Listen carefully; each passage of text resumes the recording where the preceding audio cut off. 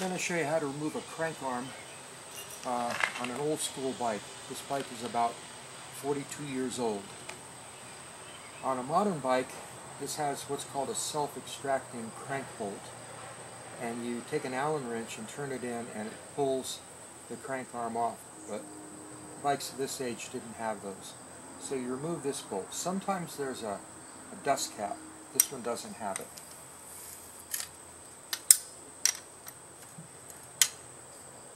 This is a campy uh, tool.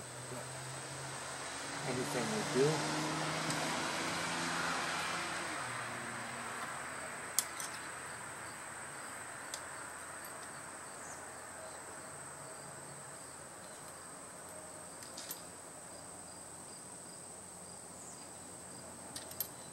Now you need a tool that screws in here and then forces the spindle away from the uh, crank arm.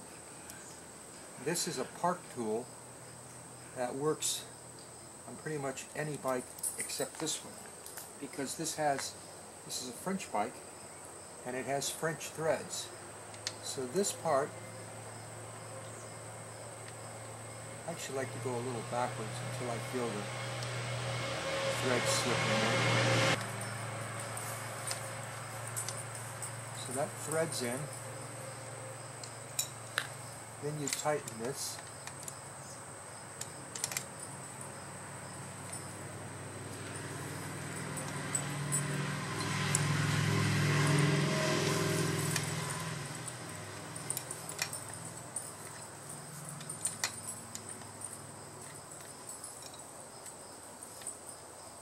Then you turn this bolt in. And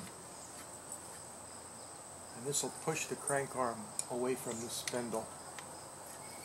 At first it's kind of hard. Then you feel it get easy as it comes off.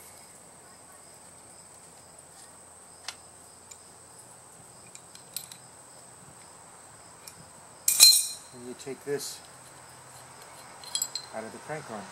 There you go.